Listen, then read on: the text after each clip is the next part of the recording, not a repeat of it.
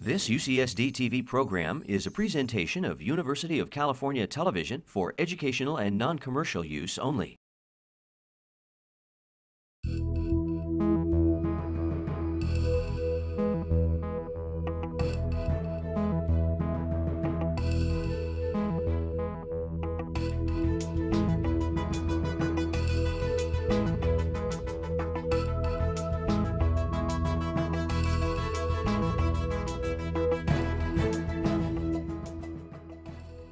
It's my great pleasure to welcome you tonight to introduce our speaker, Professor Kurt Forster, but also to initiate our series UCSD by Design. As many of you know, this year marks the 50th anniversary of the founding of the University of California at San Diego. As part of our celebration of and reflection on this half century, the Division of Arts and Humanities at UCSD is sponsoring a range of activities to help us understand the nature of art, architecture, and urban design, all of which have uniquely characterized not only our campus, but the community as a whole in which we live.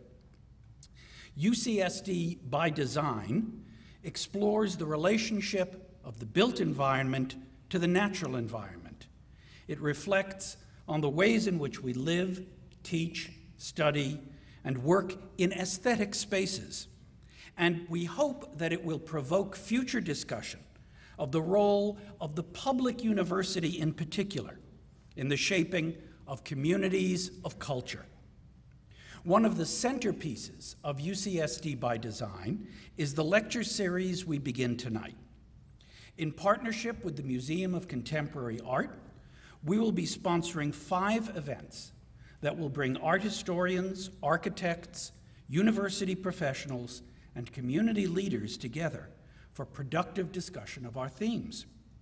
We are also the co-sponsors of a remarkable new publication, some of which you may have seen, the Campus Guide to UCSD, and we welcome community members, familiar and new, to the campus to explore its rich built and natural experience.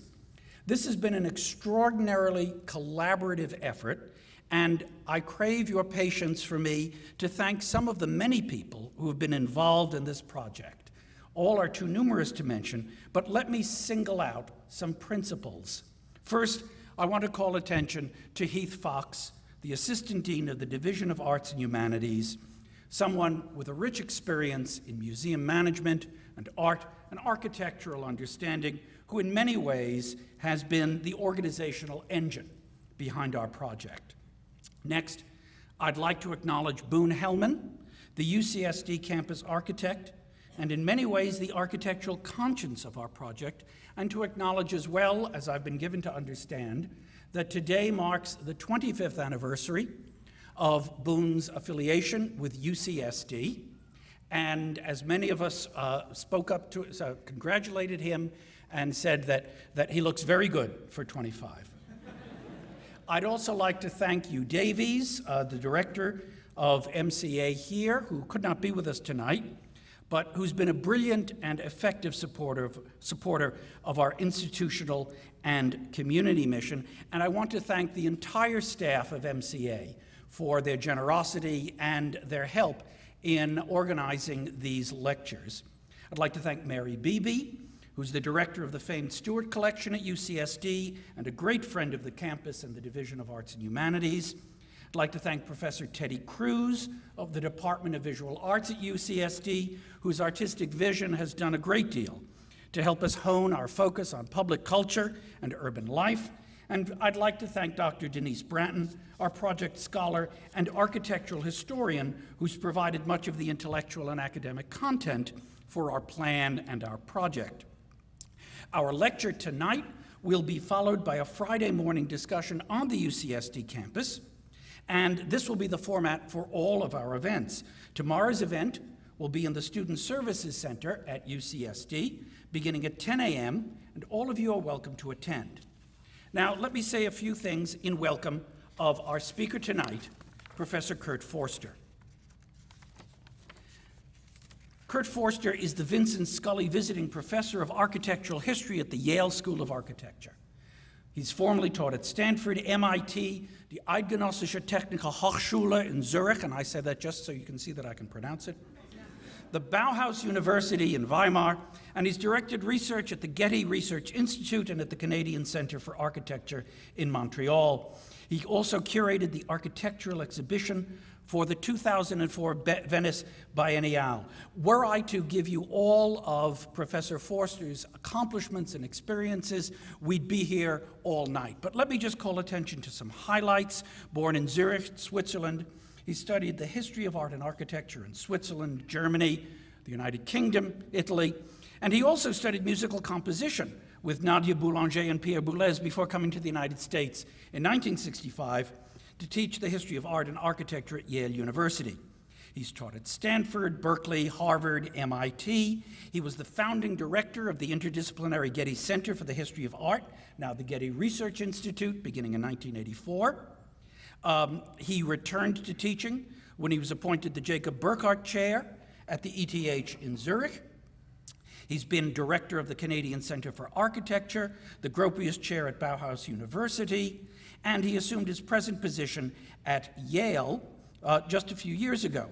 He's published widely in the fields of contemporary 19th and 20th century art, mannerism, Renaissance, classical art, and architecture. He sat on numerous advisory boards. He is a remarkable scholar, a brilliant speaker, and a truly engaged colleague and individual. We should be pleased and honored tonight that he's come to speak to us on his topic Sea, Sky, and Science, the UCSD campus between the real and the ideal. Professor Forster.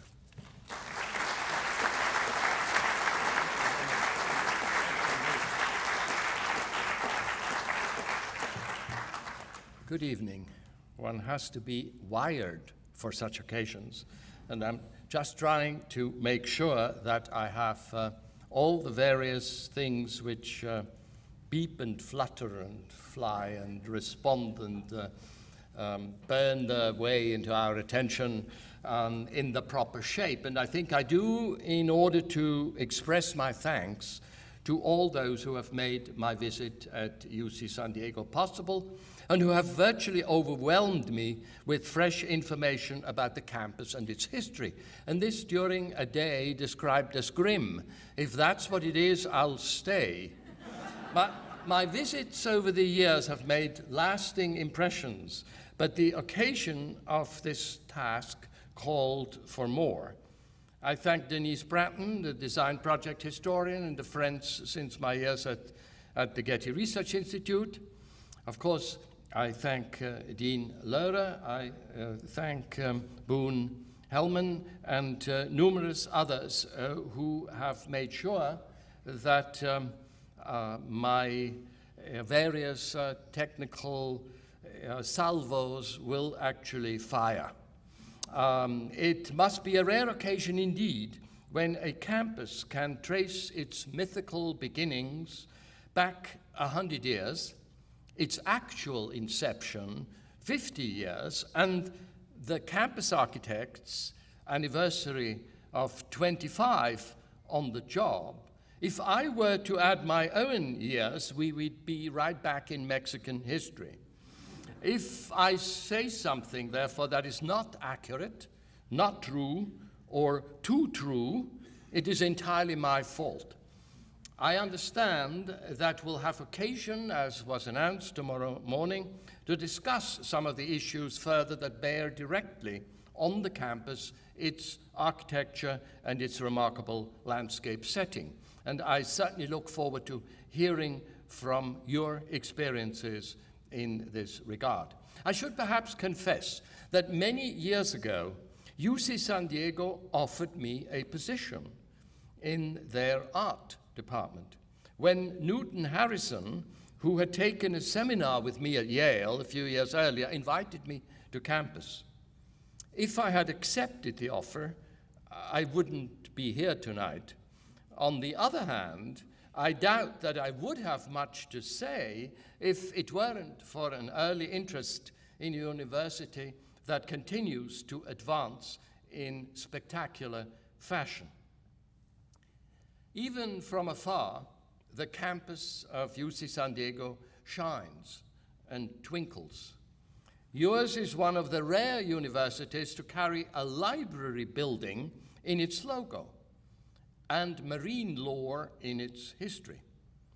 The library is named for a man we all know under his nom de plume. And I wonder does Dr. Seuss have anything to do with the fact that a number of species of rare parrots have established themselves in San Diego suburbs? After teaching a nation to pronounce things in extraordinary way and uh, to turn words into battle cries. Or does nearby Carlsbad ring a bell? There, the architect of the Scripps Oceanic Institute, Irving Gill, spent the last months of his life. Dr. Jonas Salk was more fortunate in securing a splendid site for his institute.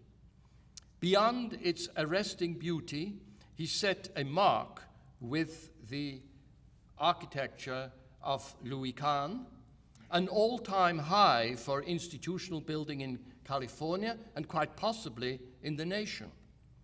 To stand on its Acropolis, or so one would like to think, and to see hang or delta gliders swoop through the U shaped frame of the plaza is to momentarily forget that they are not winged dinosaurs suspended in the eons of unimaginable geological time.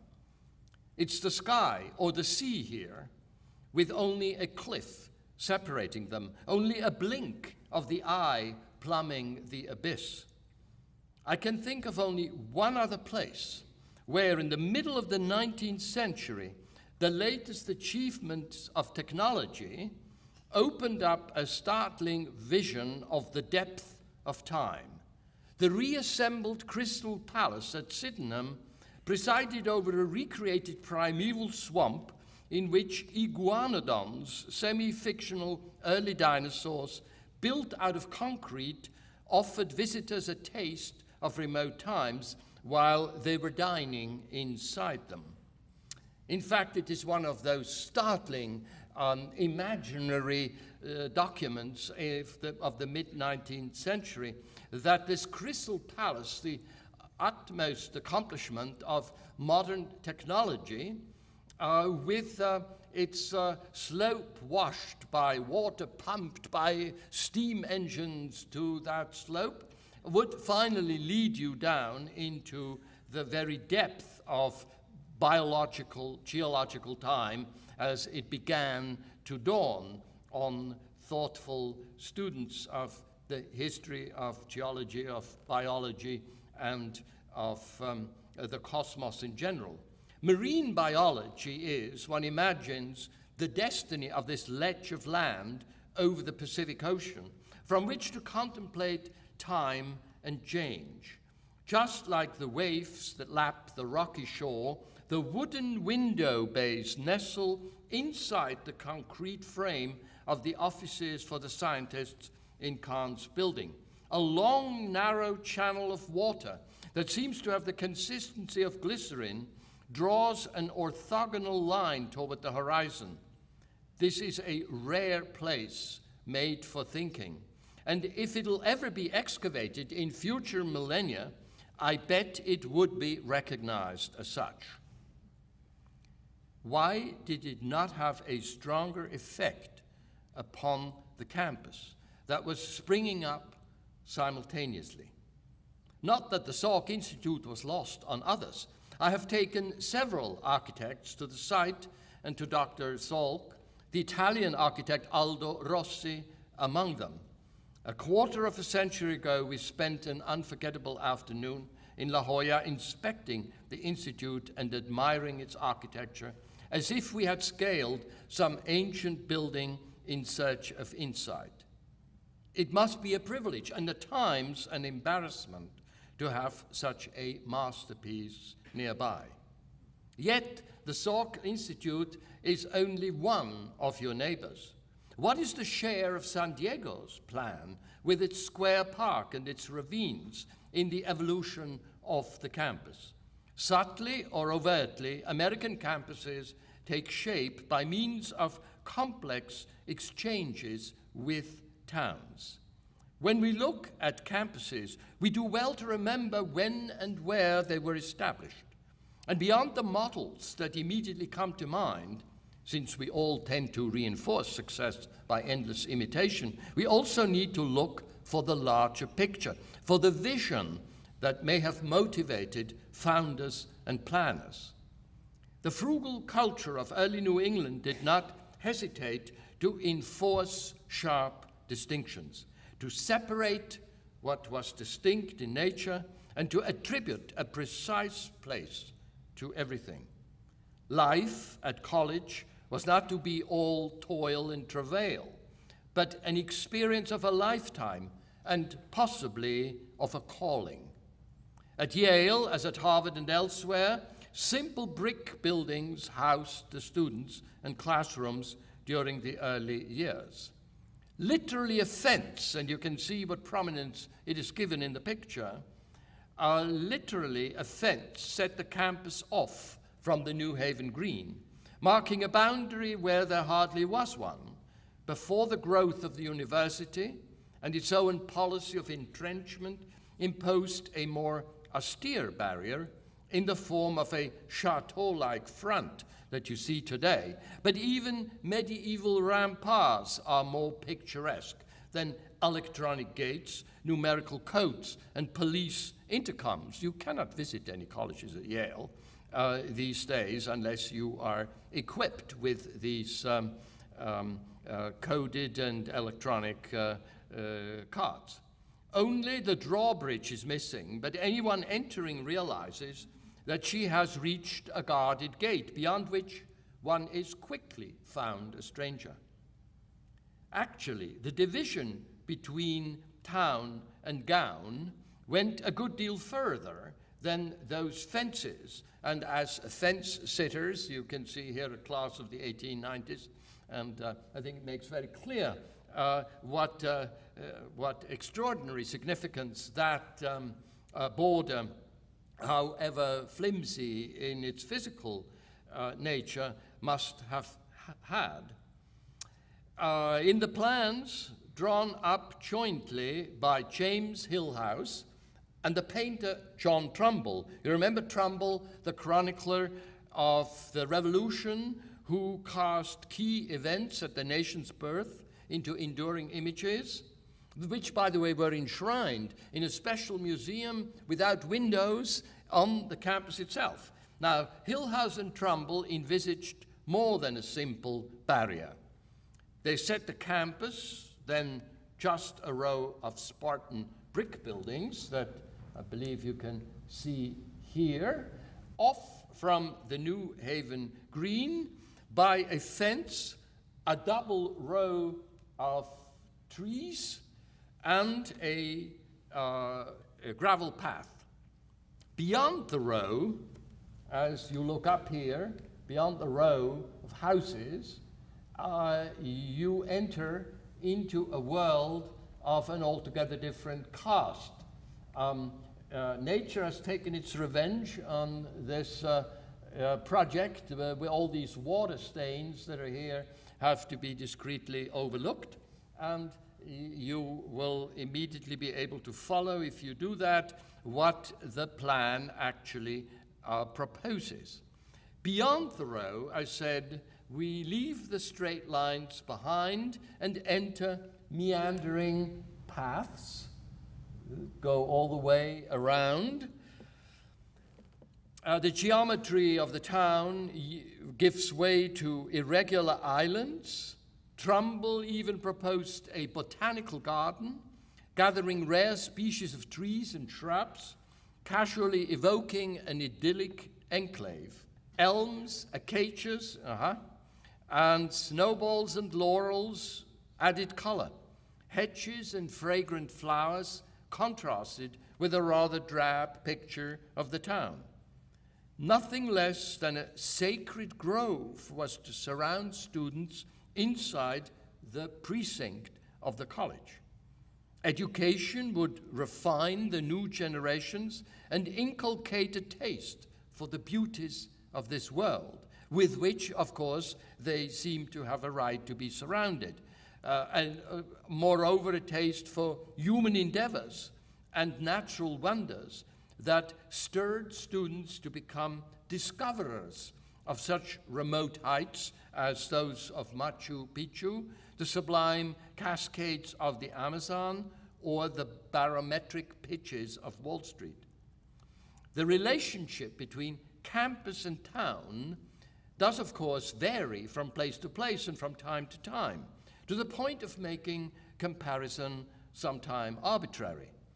But a number of colleges were established at a remove from towns and at a safe distance from their temptations. But expanding towns gradually caught up with some of these originally isolated campuses, absorbing them into distinctly urban entities.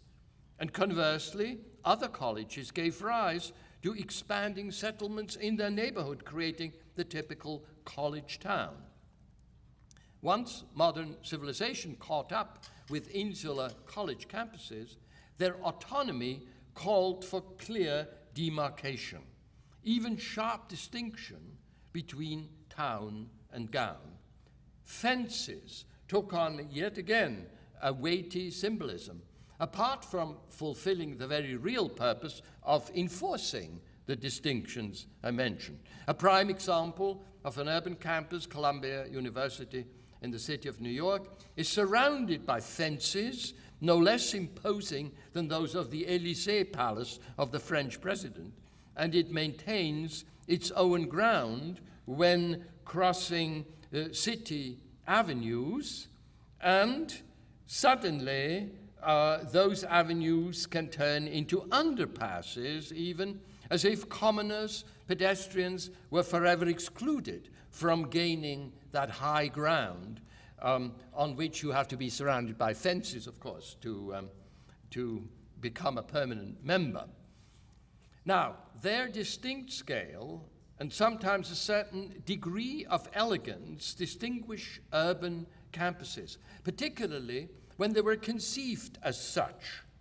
Even the early renderings of the University of Minnesota in Minneapolis anticipated a condition not unlike that we've just seen at Columbia University, minus, uh, I might add, its role as a slumlord.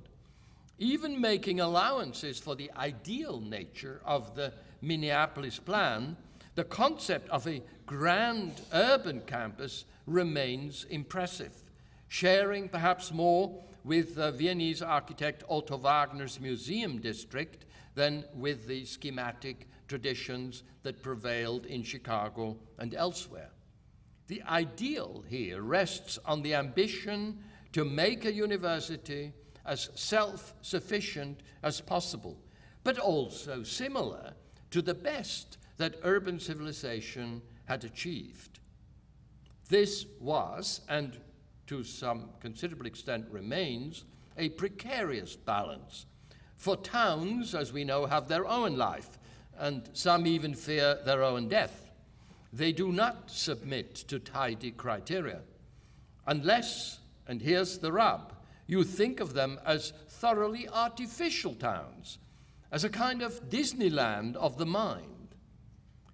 The plans for Union College upstate New York in the early 19th century, and of course those for Stanford toward the close of the 19th century, put into a nutshell, or we might almost say put into a time capsule, what may have been valid and cherished at their creation, but may since have gathered dust. If uniqueness of character is due to a special purpose, self sufficiency a hallmark of independence, then university campuses are rightfully exempt from so much that spells the daily fate of normal or regular towns. But precisely to the extent that campuses grapple with the problems of any other community, their separateness only increases expectations. In fact, one might say they are towns under surveillance. They are towns um, watched by others for their uh, capacity to perform and negotiate the um, uh, negotiate the exchange of often competing and contrasting forces that they themselves generate. So, comparing the evolution of the campus and the parallel development of towns would make for a fascinating study. Sobering, perhaps, as we discover parallels, but quite possibly also contrasts, because the experiences of one do not leave the other unaffected. In the long run, UC San Diego may reach the point at which its internal order and its adjacency to the city, um, although suburban in its nearby neighborhoods, create conditions that simulate or anticipate future stages in the life of American cities. Here, in one of the early stages of the campus development, and in a moment in a more advanced uh, condition. The future is likely to entail a lot of piecemeal rather than wholesale transformation, and it may produce a marbled rather than a homogeneous result. It would appear that UC San Diego will have room to experiment in this direction and do so without simply fleshing out its master plan. The latest of these plans does suggest a striking change of mind when compared with one of its earlier iterations, and this is a subject I'd like to briefly return to later. If Yale College was inevitably Janus faced, taking a firm stand toward and sometimes against the town in which it is located, it also, it also sought to involve itself in the economy of New Haven. And this engagement takes different forms as an employer, as an entrepreneur, promoter, and participant, partner, developing, as so many universities have done since the Second World War, industrial parks and other symbiotic interests. UC San Diego is in the vanguard of the latest stages that thrive on spin offs from those areas of advanced research that enjoy the greatest potential. So instead of fences, affinities can gain the upper hand. Similarity represents the other side of this two faced condition with the world out there. On the one hand, the planners of Yale College, as you saw in that document, worried about a piecemeal layout that would, and I quote them, preclude the possibility of reconciling the whole university to any degree of elegance or uniformity, as Hillhouse and Trumbull put it to the corporation in 1792. Washington, D.C. had barely been laid out. Elegance and uniformity, as they said, are plainly urban ideals, and chiefly European ones at that. With such an ideal, utilitarian buildings, even modest outhouses, deserve consideration and a Latin designation. Here are three of those outhouses that seem to correspond as a kind of microscale to the orderly fashion in which the um, residences for students uh, uh, and uh, halls, uh, auditoriums were uh, uh, arrayed on the plan. And in the case of these outhouses, the, the description is as temples of Cloacina. So that uh, dignifies anything, I suppose. Learning can do that, you know. Uh, when it is, brings its attention to whatever it is, it suddenly sounds better than it actually is. So the college fathers were reaching for monumental standards, even in these nether regions. Obviously versed in the business they discussed, Hillhouse and Trumbull wanted to ensure that buildings, and I quote them again, would admit of being pursued gradually, and whether partially or completely executed, would be in all stages handsome, Now, I'm sure that's something that's been whispered into the ear of the campus architect more than once. So they, Trumbull and Hillhouse, always considered the campus to have a special standing. Therefore, they insisted that the very nature and form of the ground seems to point it out. And here is, as it were, a first uh, whiff of an understanding of landscape, of topography, and of a necessary uh, integration of the building with its site and of the activities in the buildings with the nature of the surroundings. They were hoping then to achieve something unique, difficult to find anywhere else, as they proudly added, in America or in Europe. They wished their public buildings to be seen to such advantage. So, in other words, the campus becomes uh, a piece of uh, an exhibition. It becomes the site of a demonstration of what a culture is able to accomplish and is able to carry through under the exempt conditions of a campus, and therefore uh, reach a level that would be rarely, if ever, uh, attained in the world out there.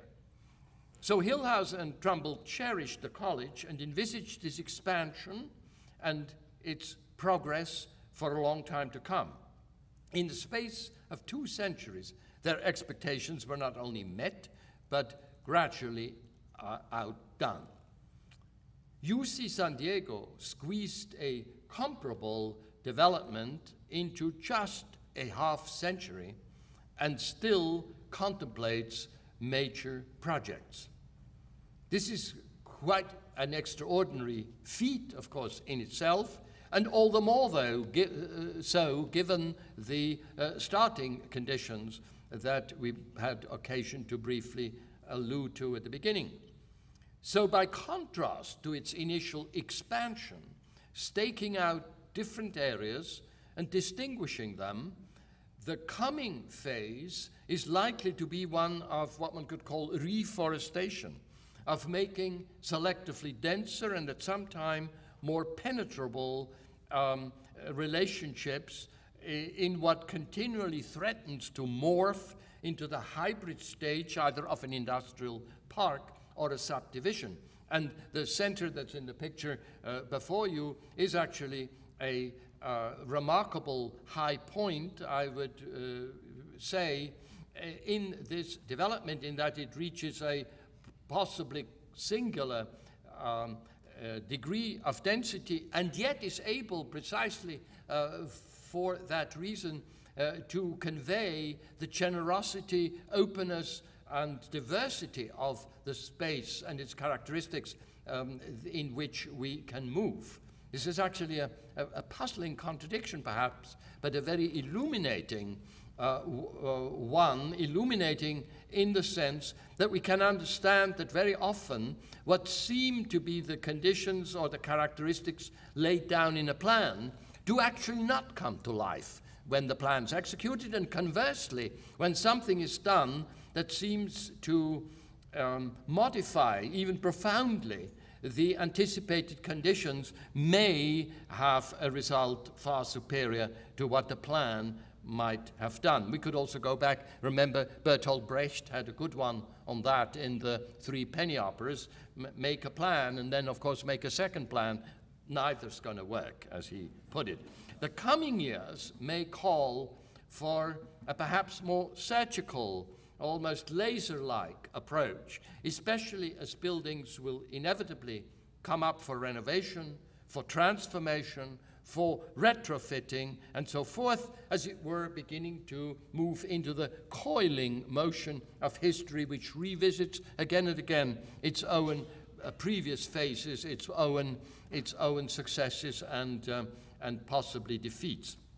Not all campuses um, expected to return to what was called at the time of Hillhouse and Trumbull a peaceable kingdom. Uh, some, for instance, like Cranbrook, imported the vision of a civilized landscape, matching vistas a la Versailles, you'll see them in a moment, with the closely ranged colonnades of provincial Italian towns. On the eve of his departure from Finland, Eliel Saarinen, Saarinen father, had developed an ambitious plan for a new campus of the University of Technology in Helsinki. As you can immediately pick out the classic uh, tree-lined urban avenues and the counter axes which finally terminate in some singular point of reference, whereas along its way opens up generously to lateral squares, to cross axes, which allow an ultimately coherent but always very carefully calibrated uh, hierarchy of further development, putting at the university's disposal large areas of the landscape for future development. He laid uh, out in uh, analogy to recent urban scheme, schemes as his own, uh, the plan for the campus at uh, Cranbrook and it uh, doesn't take a particularly sharp eye to recognize immediately how an alternation of open spaces with often, with often uh, asymmetrical entry of major connecting corridors leads to optically quasi foreshortened uh, uh, uh, depth, as we can see it uh, in both instances here, but with one a significant departure in that, in a curious way, this plan in Cambridge, in, in Cranbrook, uh, looks and feels more European even than the one that is uh, uh, more uh, adamant in its uh, hierarchies and in its abstraction in Helsinki itself. Now, um, the, uh, Saarinen's ability was to prove crucial for his role as an architect and, of course, as an educator in the United States. And while teaching at the University of Michigan at Ann Arbor, where Albert Kahn, the engineer of grand automotive plants, was also designing buildings, Saarinen came into contact with George Booth, the Detroit uh, press man in 1924. And Booth and his wife, Ellen Scripps Booth, were eager to establish a private school for girls and an art academy. And they set aside huge tracts of land in what was to become Bloomfield Hills, Michigan. An enterprise so fascinating even to international peripatetic architects like Le Corbusier, who is here seen visiting on site at Cranbrook um, uh, uh, Saarinen and inspecting this creation of a kind of miniature ville radieuse of a somewhat different cut than uh, Corbusier, of course, would have given it. The Booths followed in the footsteps of such founders as Governor Stanford of California, uh, whose newly established university on the peninsula, as you might recall, was nicknamed the Farm.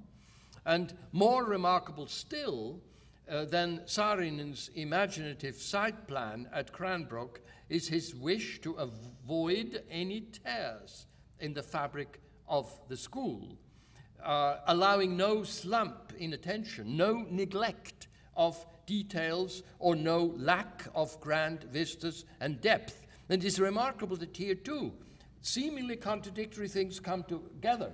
A memory of the grand sort of Baroque aristocratic vistas of the cascading bodies of water, of uh, imaginative combination of sculptural um, and floral elements with the varying geometry of the site, and at the same time, um, the fine grain, which particularly in the buildings uh, produced uh, surprising um, uh, results. The cadence of the campus unfolds along this series of parcours that thread through each quadrant and each one in a different fashion.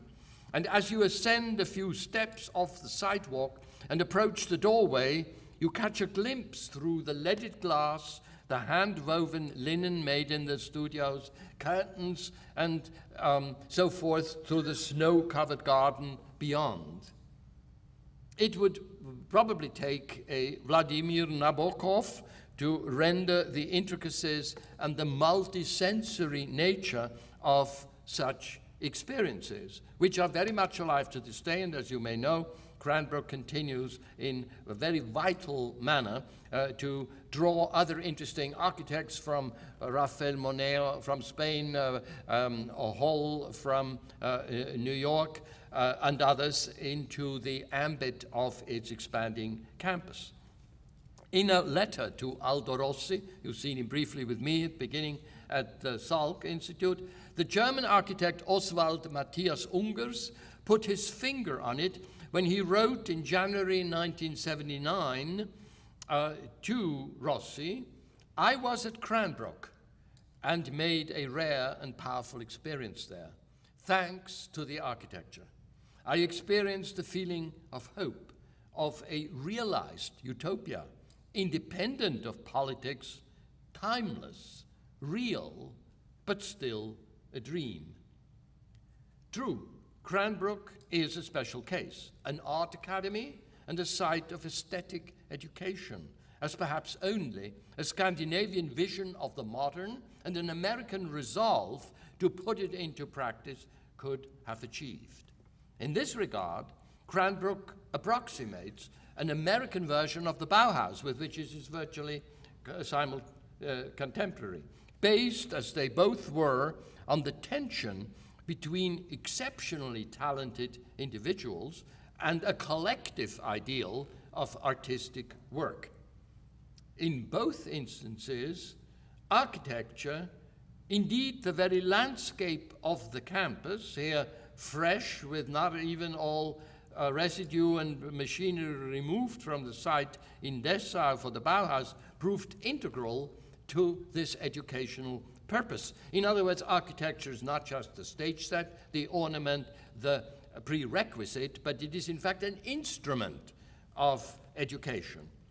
If the second Bauhaus at Dessau centered on a now famous building, a pinwheel that torques administration, workshops, studios, student residences into a highly articulated whole, Cranbrook, by comparison, was distinctly more relaxed and expansive in its alternation between courtyard and vista, cluster and spread. What does link them both with the broader tendencies that have continued to shape such campuses is the scattered structure of large exhibitions that were so popular at the time. Particularly influential was the Stockholm World's Fair of 1930, designed by the Swedish architect Gunnar Asplund. To all intents and purposes, Asplund laid out the fairgrounds as a kind of campus on which natural features, water, trees, microclimate, etc., were conjoined with wide promenades and rambling paths allowing you both to gain a sense of direction and abandoning yourself to the spontaneous uh, interest that might come as you wander through the territory, discovering something about the land that you would not have otherwise seen. And of course, multiple means of transportation, accentuated by display structures and replete with public amenities. Remember those three temples of Cloacina in, at Yale. And here, of course, uh, you remember what Freud said what made, when he came to get his honorary doctorate at Clark University and traveled with uh, uh, Jung and Ferenczi to the United States in 1908. And coming back, he drew the, the conclusion that um, he could really live in the United States only with great difficulties. And when asked why, it was that he couldn't find any wild strawberries, and there weren't public toilets in the city. Uh, a descendant of the Stockholm exhibition opened its doors in 1933 uh, on Lake Michigan, where the Century of Progress exhibition embedded an astounding array of buildings. Uh, here, uh, even uh, aerial tramways, uh, so called rocket cars uh, dramatizing that uh, choice of various forms of transportation. But in its layout around the artificial lagoon was not only echoing uh, directly Asplund's Stockholm exhibition, but was giving clear evidence of its intent to create a kind of model settlement with all the variety from ideal one family houses to great industrial display pavilions. Um, the conjunction between nature, uh, highly stylized, of course, and greatly enriched, and an urban array of buildings, advanced in technology and purposeful in their appointments, has been a hallmark of campus planning ever since. Consequently, campuses offer an experience that transcends the humdrum nature of daily routine. When natural features are crowded out and mechanical contrivances cancel any sense of the larger context, the ideal underlying the very notion of campus avoids the blanket application of asphalt and concrete as it transforms the topography and the flora of a site. A campo can be many different things, from military exercise grounds to cow pastures. And the Campo Vaccino, here in a, in a uh, restyled uh, Netherlandish uh, version, in the center of Rome, that mythical field of ancient ruins and sundry remains, has of course fascinated visitors to Rome for many centuries and left uh, a deep imprint on the imagination uh, of uh, the relationship of the past, even in its ruined remains, and of the present experience we gain of the land and of the city. So, where cattle grazed among the ruins of temples and churches, some visitors may have felt corralled within its confines rather than elated by the discovery of hollowed ruins. Similarly, a college campus tends to fall halfway between the two, between the place it was granted and the structures that it had to build, between a past that keeps accumulating at a fast clip, measured as it is by the succession of class of students after class of students, scientific discovery after discovery, and their subsequent commercial exploitation. And the future may not always beckon from beyond the fence, but often lie within the campus itself. And in this regard, the story of UC San Diego campus holds particular interest because it reaches back to the early years of the 20th century when the Scripps Oceanographic Institute was established in La Jolla. In the post war period, when military camps and undeveloped city land were combined into extensive university grounds, the city of San Diego assumed the role of an urban protagonist uh, for a campus otherwise largely nestled in natural scrub. The classic polarity between private initiative and public purpose, between isolated beginnings and highly complex conditions that result from those beginnings, played out once more at dizzying speed. What makes the history of UC San Diego special stems in part from its geographic location, in part from its active role, exceptional success in research and industrial expansion. Instead of living within a tight casement of long for long periods of time, UC San Diego has frequently molted, to use a marine analogy, and therefore offers planners the succulent taste of a soft shell crab rather than the hard carapace of an ossified creature. At every turn in its history, the campus seems to have taken cues from the culture at large as well as from the discrete nature of its privileged circumstances. As a shorthand of what I have in mind, let me remind you of the fact that the architecture of the original Scripps Institute employed highly experimental technology. The young architect Irving Gill erected a structure of spare and economical nature right at the ocean's edge. Entire facades were poured on the ground and tilted into place. The building's striking exterior was matched by an interior. I apologize, I couldn't in the end um, find the image, but I know it exists, uh, of the uh, apartment of the first director, Ritter, within the building. And so in 1910, uh, the building freely shed the frills of its time. And when you cast a glimpse at a comparable institution, Anton Dohrn's Marine Biology Institute that opened in Naples, also before even the shore, the embankments there were constructed in 1873, you may be surprised by the air of a sort of grand hotel or casino uh, that came with it.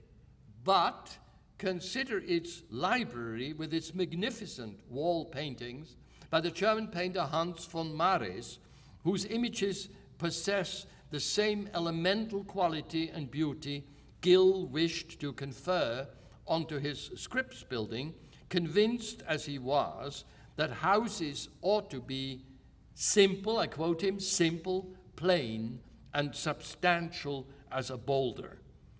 What springs from the mind will assume, once it's realized, the traits that belong to things, and such things could be splendid in their simplicity.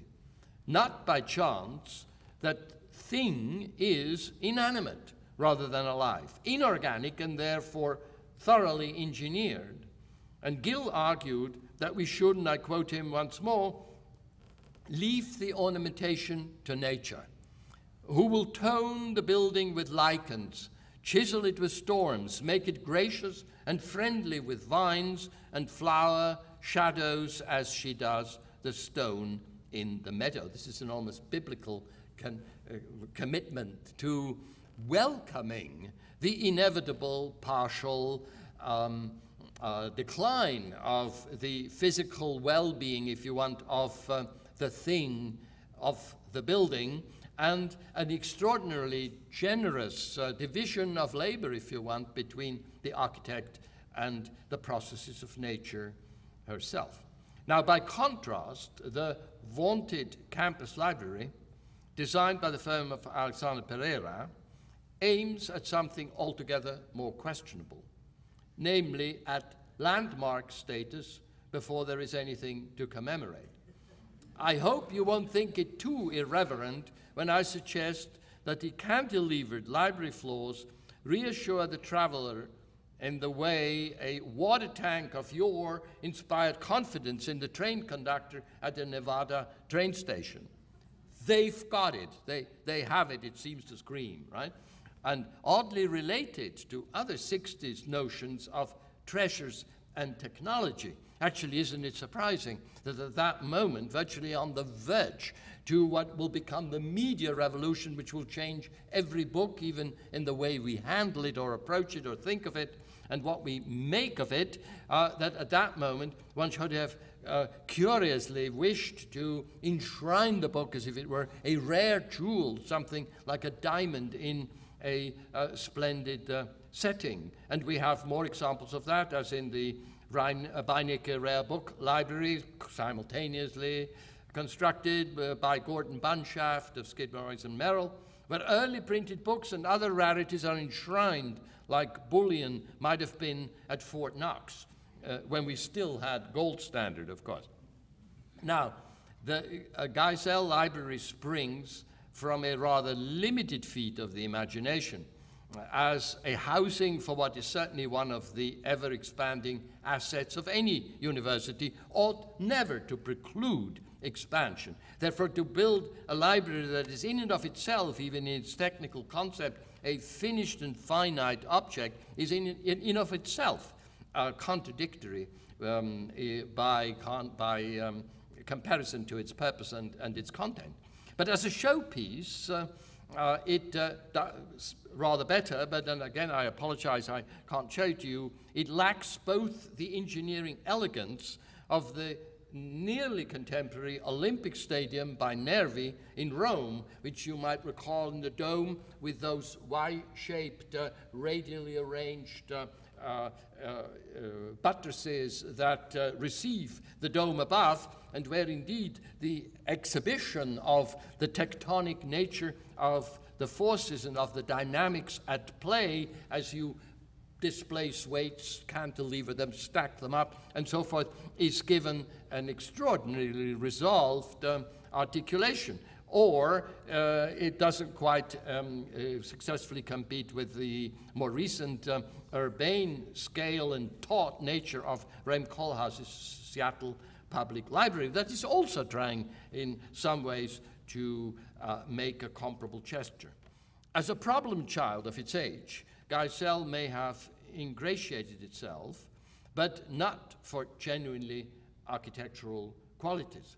A lesson may perhaps spring from an unexpected aspect, temporary rather than monumental in nature, uh, offering both flexibility and utility, and with a lower threshold of inhibition, permitting short lived change. And as I suggested before, I think we're entering, a, we're already in a period which is characterized by far shorter, more uh, accentuated and rapid cycles and changes, and therefore many long term goals will be reached only by short term decisions and solutions. So the camouflaged Quonset huts on campus here have served for varying periods in many other places. They are beautifully painted and they become more virtually the equivalent of abstract sculptures. At an early stage in the planning of the Stockholm exhibition of 1930 uh, by Asplund, and for returning GIs at Yale after the war Look at this, a, a military education camp right uh, in your backyard. Um, uh, we encounter these otherwise uh, rather um, um, uh, unglamorous um, uh, structures.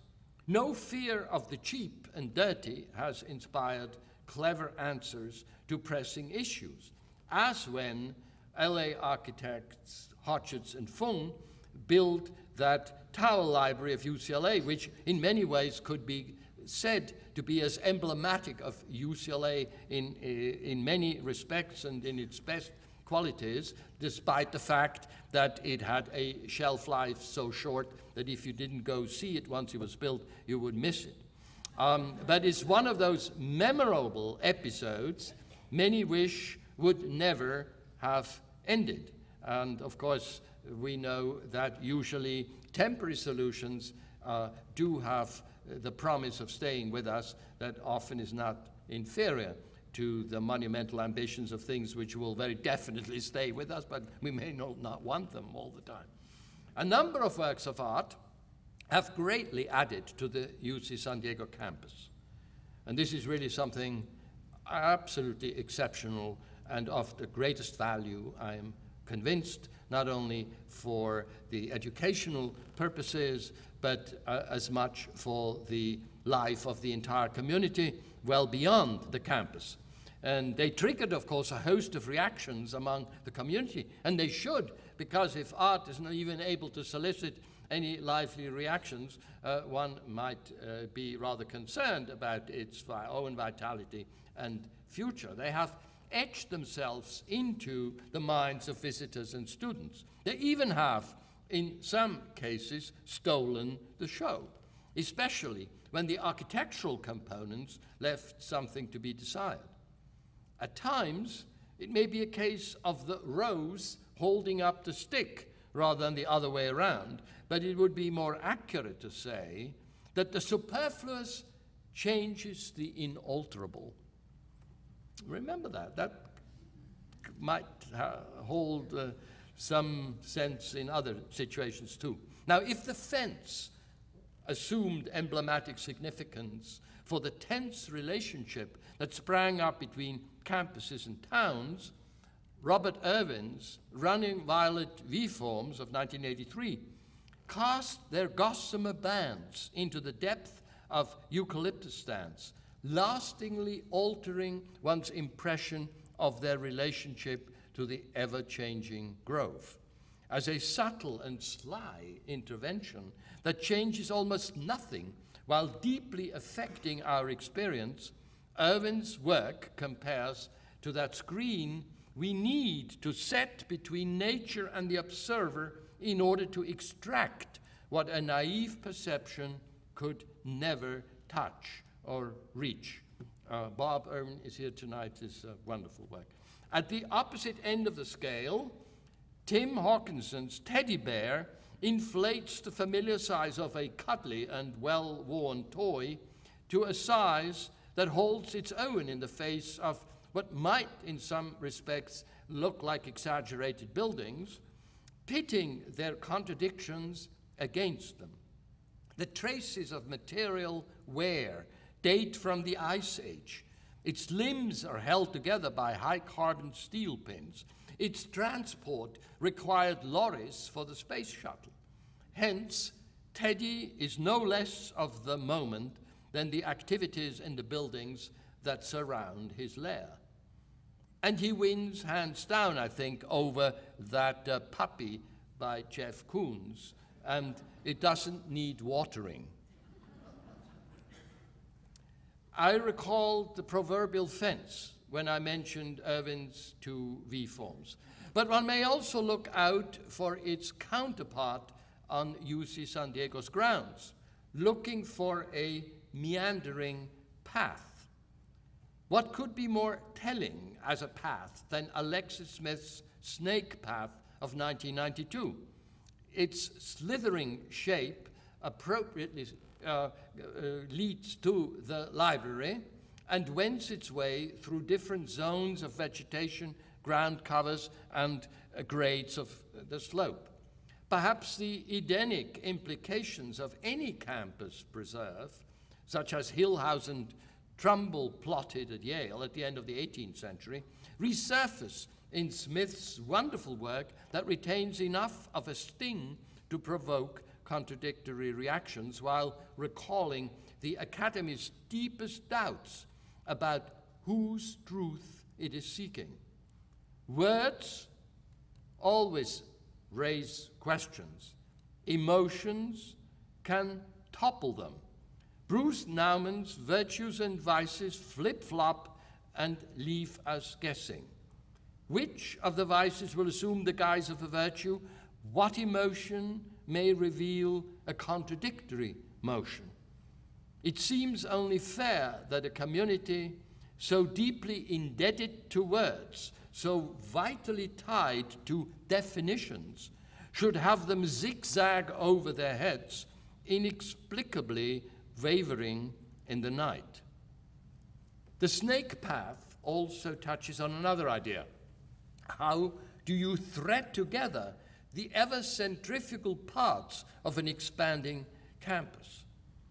To this end, uh, Helen, and Newton Harrison elaborated a remarkable proposal when they submitted their campus meander in December 1997, more than 200 years after the Hillhouse and Trumbull uh, proposal much more than a vindication of my suggestion that the meandering path is a key to the very origin of the campus. The Harrison proposal addressed one of those nagging issues that will never go away, but will always be postponed. Taking a cue from an original landscape feature, the canyon, the Harrisons aimed to restore it to a community that had grown inured to it.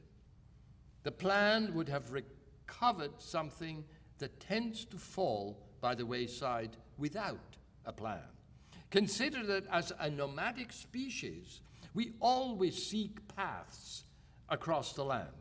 Our trails must be counted among the landmarks we leave, if you accept that as a shorthand, of uh, landmarks of our life. And we should allow it to prevail over parking lots asphalt strips, highways, and property lines. In effect, I believe that such a meander insinuates a topography of connections that tends to be frustrated or terminated at many points in the daily experience of the community, precisely because it stores up a foreknowledge of invisible segments, as well as a memory or afterthought of others. But I must say overall that this campus uh, stands out also in this regard among some of its best competitors, that indeed it is a topography so mined by ideas, thoughts, and approaches to the place and to the activities within it that it exists as a multi layered topography that is different in every person's mind and yet always restored to the site itself. So, more than any single building or isolated work of sculpture, the meander etches the land and it casts a web of connections over the campus. It belongs to an unstable, to a shifting topography rather than an imposed order whose authority always derives from someone else, from something else. I hope that the idea, if not necessarily, of course, its exact design, may yet see the light of day. And in part, in fact, it has, perhaps almost as if the campus had a capacity uh, fostered by the, its planners and guardians to generate, like a pattern on a skin, some um, element that seemed spontaneously to emerge uh, from it. Perhaps the meander will play a role like the High Line in lower Manhattan, where grid and hierarchy prevail over the natural features of the island. On the UC San Diego campus and beyond, a new sense of the landscape might bring its remarkable site back to life and invite adventurous exploration. Experiments that the Federal Institute of Technology, the ETH, so uh, uh, perfectly uh, named and pronounced by our dean, uh, is conducting with Abu Dhabi, promises perhaps a departure from the standard approaches to planning that uh, have prevailed in that region in particular. And it's very interesting to see that for this new city of Masdar, uh, another than the uh, predictable future has been imagined with extraordinarily dense perimeter and central cores, and then in imitation of the wadi, of the uh, temporary uh, rivulets and runs of water, uh, green zones penetrate, meander through the plan, and offer both uh, visible connection and transportation links beyond the campus, uh, beyond the city, and at the same time provide uh, that cushion and filter which is so essential for uh, the enjoyment of spaces otherwise predetermined and um, looming in their massive dimensions. So, this contrast, which they've just now in this project negotiating, has all by itself the power to generate a vital variety of passageways and create discreetly local conditions. And I have the feeling after the day of today and my direct uh, uh, impressions on campus uh, that you may very well be set on the, in the long run uh, uh, on such a course. I'm sure you don't need visitors to tell you that your campus is worth every effort and that it will continue to tell the story of your engagement with nature and with the mind, but also explore ways in which our settlements need to evolve as we renegotiate our lease with our global host. Thank you.